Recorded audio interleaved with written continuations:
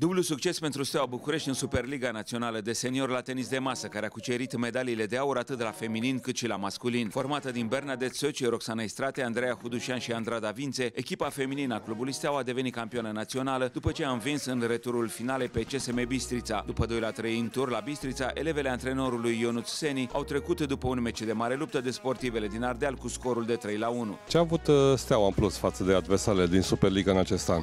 Eu cred că în primul rând uh, avem valoare mai mare și experiență. Avem uh, pe Bernadette Sueci cea mai bună jucătoare din România și împreună cu celelalte am format o echipă foarte bună. Le-am simțit pe fete foarte tensionate în timpul jocurilor. Tensiunea a fost, uh, a fost o finală, trebuia să recuperăm dezavantajul creat la Bistrița și vă dați seama, nervii au fost întinși la maxim, dar uh, din fericire pentru noi s-a terminat cu bine. La finalul uh, primului meci uh, ai plâns. De ce?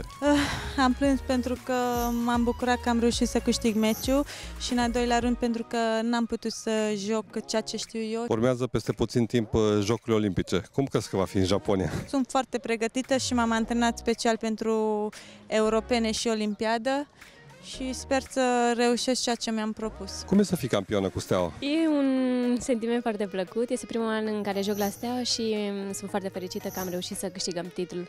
Cum te-ai simțit în această competiție în cadrul echipei Steaua? Sincer, am avut foarte, foarte multă presiune tot anul, uh, dar eu cred că am reușit să ne concentrăm spre sfârșit și să aducem titlul și cred că este cel mai important lucru. Succesul fetelor a fost dublat de victoria băieților care au învins în finală în dublă manșă pe CSTT Pristavu Câmpulun cu 3 la 0 și 3 la 2. Echipa masculină din Ghencea a fost formată din Darius Movileanu, Eduard Ionescu, Cristian Chiriță și Andrei Tomică. Avem o echipă tânără, chiar foarte tânără, niște jucători cu o valoare foarte mare internațională.